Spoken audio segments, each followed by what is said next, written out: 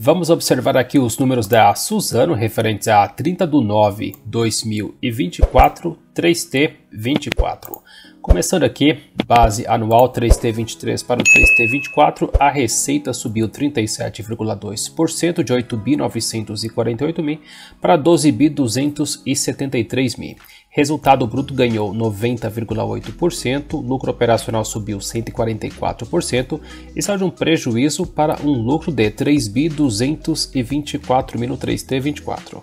Margem bruta cresceu 12,43 pp, margem operacional ganhou 14,67 pp e a margem líquida saiu do vermelho aqui para 26,27%. Tudo certo por aqui então. Do 2T24 para o 3T24, a receita subiu 6,8%, resultado bruto ganhou 0,5%, resultado operacional recuou 10,9% e saiu do prejuízo aqui 2T24 para lucro aqui no 3T24. Margem bruta recuou 2,78 pp, margem operacional menos 6,66 pp e a margem líquida aqui saiu de menos 32,80% para 26,27%. Aqui de positivo temos o ganho da receita e aqui apesar da variação negativa no resultado operacional fechou com um lucro aí interessante, variação bem interessante. Vamos ver aqui alguns detalhes na DRE resumida do 3T23 para o 3T24, a receita subiu 37,2%, de 8 bi 948 mil para 12 bi 273 mil.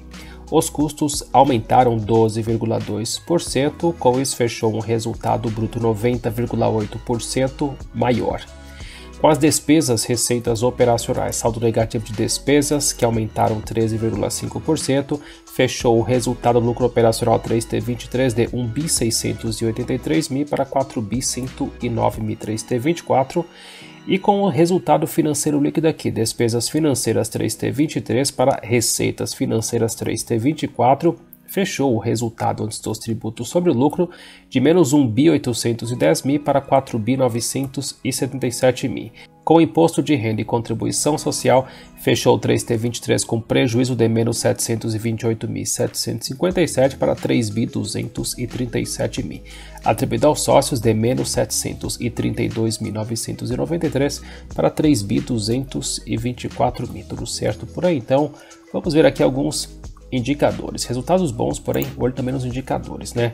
Lucro por ação, últimos 12 meses, R$ 3,31. Valor da ação utilizado para os cálculos aqui, R$ 59,00. E o PL aqui está em 17,84. Um PL aí, na minha opinião, eu acho mais interessante um PL próximo de 10, hein? E o PSR aqui está em 1,71. Eu prefiro um PSR aí também mais próximo de 1, abaixo de 1,5. E o PVP aqui está em 1,80. Estamos pagando R$ 59,00 por uma ação que vale R$ 32,81 de acordo com o valor patrimonial por ação. Então, PVP aqui múltiplo 1,80, a ação não está com desconto. Estamos pagando 79,8% a mais. E o retorno sobre o patrimônio líquido está em 10,1%, um retorno mais interessante na minha opinião, estaria em torno de 15%.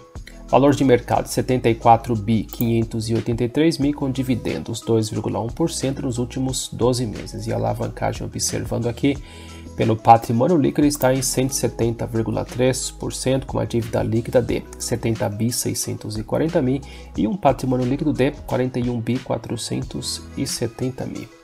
Vamos ver o gráfico aqui no comecinho de 2024, lá no dia 2 de janeiro, com as ações abrindo em R$ 55,70 e fechando em R$ 55,14. Máximas do ano aqui, batendo lá nos R$ 65,00 em 51 centavos, aqui caindo aí com os negócios da International Paper, é que ela voltou a subir novamente, porém ainda não conseguiu renovar lá as máximas. Aqui a questão da International Paper, observando aí sempre a alavancagem, né? A Suzano historicamente já tem uma alavancagem bem elevada realmente. Então os acionistas ali preocupados, né? Se haveria aí mais endividamento para a empresa, porém não se concretizou. Ela voltou a subir ali novamente e agora aqui nos 59 reais.